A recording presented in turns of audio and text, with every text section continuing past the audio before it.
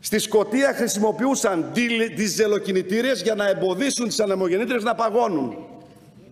Τα ακούσατε κύριε Τσιάρα; Το χειμώνα που είχε κρύος στη Σκωτία και πάγωναν οι ανεμογεννήτριες, βάζαν διζελοκινητήρες να θερμαίνουν τις ανεμογεννήτριες για να μην παγώνουν.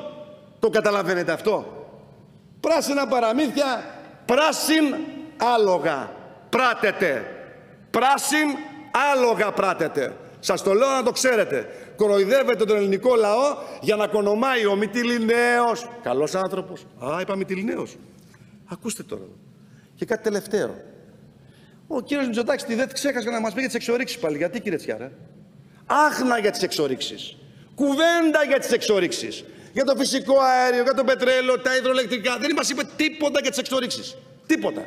Όταν λέω τίποτα εννοώ τίποτα. Είναι σημαντικό. Να και μιλάω για τον Ευάγγελο. Ο εκλεκτός φίλος του ΣΥΡΙΖΑ και της Νέας Δημοκρατίας. Μην ξεχνάμε ότι ο ΣΥΡΙΖΑ, ενώ γινόταν το δικαστήριο, μια μικρή τροπολογία έγινε εκεί την περίπτωση και έτυχε ο κ. Μητυλινέο να, να, να ευνοηθεί από την τροπολογία. Κατά το παρελθόν δεν ήταν σκόπιμο, φαντάζομαι ο ΣΥΡΙΖΑ δεν κάνει τέτοια πράγματα, αλλά ευνοήθηκε ο κ. Μητυλινέο. Εδώ είναι ο κ. Μητσοτάκης, η, κυρία, η σύζυγός του και ο κ. Μητυλινέο δίπλα-δίπλα. Πάρα πολύ ωραία.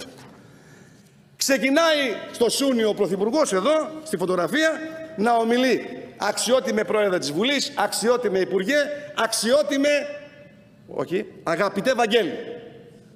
Ο Βαγγέλης δεν είναι ο Βαγγέλης με την πόρτα που κλείνει ο Ξαρχάκος, είναι ο Μητυλινέος που φώναζε ο Ξαρχάκος Βαγγέλη, έκλεινε η πόρτα.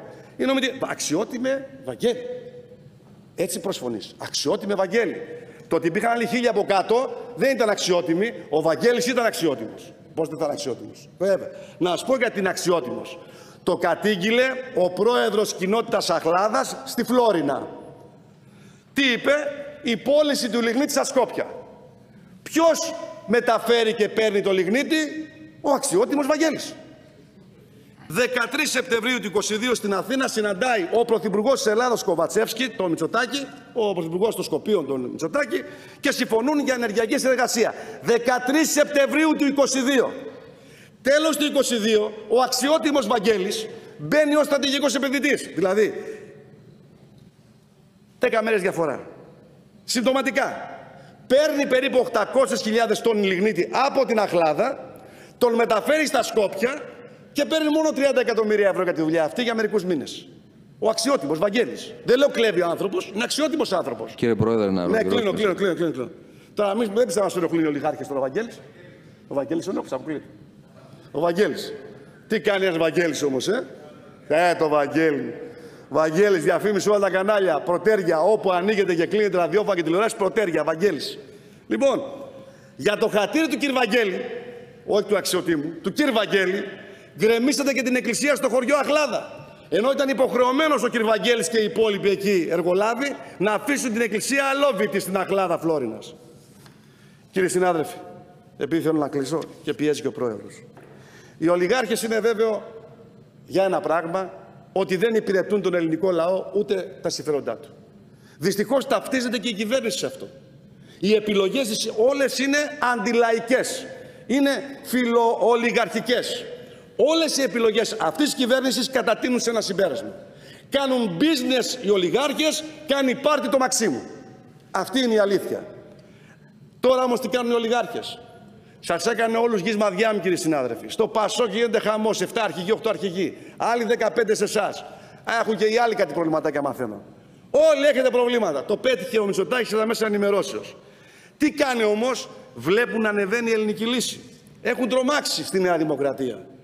Και βλέπουν δεν τραβούν και τα υποκομματίδια που κάνουν. Αναγκαστικά απελπισία μεγάλη του κ. Μητσοτάκη. Αλλά προκαλεί κατάπληξη ένα άλλο θέμα. Δεν είναι δυνατόν δίθεν πατριωτικά κόμματα ή πατριωτικά κόμματα ή όπως αυτό προσδιορίζονται να βάλουν εναντίον της ελληνικής λύσης που είναι η μόνη αντιπολίτευση με επιχειρήματα. Δημιουργείται συνειρμούς λάθος έτσι και ο κόσμος πιστεύει ότι είστε δεκανίκια του κ. Μητσοτάκη. Εγώ δεν θα το πιστέψω αυτό. Αποκλείεται, δεν μπορεί, δεν γίνεται.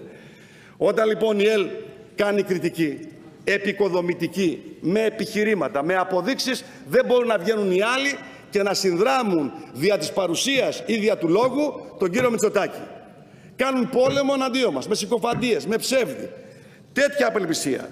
Το κυριότερο, ότι επιχειρούν και εμπλοκή ημών μέσω τρίτων ψεύτικων στοιχείων μόνο και μόνο για να εκθέσουν την ελληνική λύση.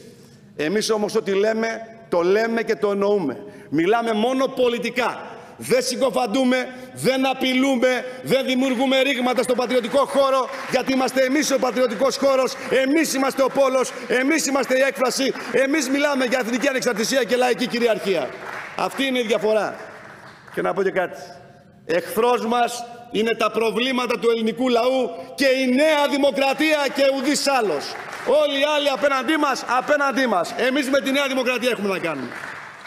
Και κλείνοντας, θα πω ποια είναι η διαφορά μας.